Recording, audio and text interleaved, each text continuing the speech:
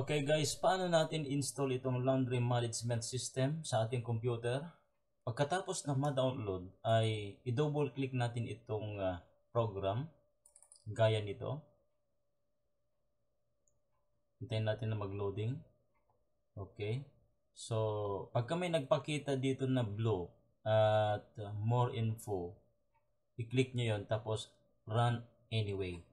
And then, magpapakita na itong uh, form na ito. Ang gagawin lang natin ay click ang next. Click ang next. Kasi wala tayo gagawin dyan. Next. Tapos, install. Then lang natin sandali para ma-install. Ang i-click natin dito ay yes. Okay. Tayo natin sandali.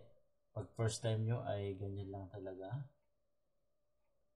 Hintayin natin hanggang sa matapos itong uh, bar na ito. Wala pa. Hindi pa nagpapakita yung uh, tawag dito, yung bar, progress bar niya. Yan. Nagdadownload. Ah, nag-install na. Tapos okay. Kung gusto nyong i-view ito ay click nyo lang. Tapos click ang finish. Okay, tapos na. Ngayon, i-open natin yung system nasa desktop. Double click natin yung icon. Ito ang magpapakita sa first time ay ganito ang itsura. Itong business name ay pwede nyong itong palitan. Okay? Sabihin natin dito halimbawa ay uh, best laundry shop. So, halimbawa dito ay uh, lagyan natin dito San Juan Abra. So, contact number. Okay?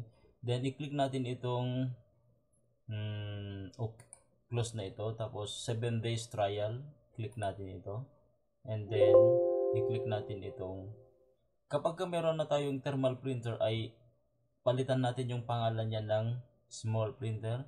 Yung malaking printer tulad ng mga A4 o kaya legal size, mga uh, letter size, ay palitan natin ng pangalan ng printer ng big printer. Tapos enable natin yung macro kung naka-open na po yung ating Microsoft Access. Tapos ang default password ay admin, uh, username ay admin, password ay 1234 pero ito ay admin pa rin. Okay? 7 day trial. Okay. Tapos, yan, magpapakita ito. Pwede kayo mag-subscribe dito para makita nyo yung mga tutorial ng ating system. Okay? Ngayon, pag inopen na natin yung ating system, i-click natin itong uh, close. Uh, mag-login tayo, admin, admin, enter. Then, ito yung reminder alert. Close lang natin yan. So, nandito na tayo sa dashboard. Meron tayong dashboard, customer, okay, meron tayong POS,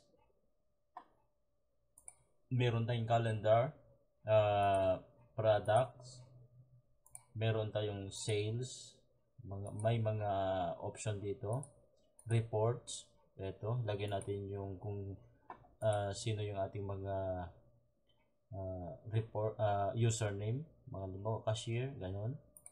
Tapos expenses, click din natin ito, magpapakita dito yung expenses natin.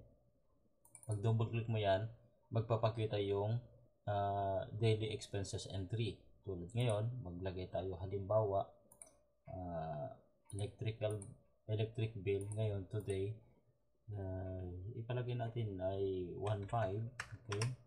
Tapos save. Okay? Close. Kaya pag click natin yung expenses magpapakita dito December 3 ay meron tayong 1.5 na expenses next day, ganoon din kung meron tayong mailalagay. So, meron ding attendance, admin. Yung admin ay may mga iba't ibang tab dito. Accounting, marketing, contacts, uh, uh, products, personal consumption, reports, graphs, alerts, and settings. Yan, lahat yan ay nasa admin section. Okay? About, tapos yung exit. Okay? Ito lang yung ating uh, POS o Laundry Management System. Okay? Sa next video ay ituturo ko paano gamitin itong ah, ah, customer at saka yung POS, calendar, lahat yan ituturo ko one ah, step by step. Right? Sana ay maliwanag. At ah, kung bago lang kayo dito sa aking YouTube channel ay mangyaring i-click nyo ang ah, subscribe, like, and share para naman ay malaman din ng ating mga kababayan na mayroong laundry at magamit din nila itong system na ito. Okay? Sige. Kita-kits tayo sa susunod na mga video.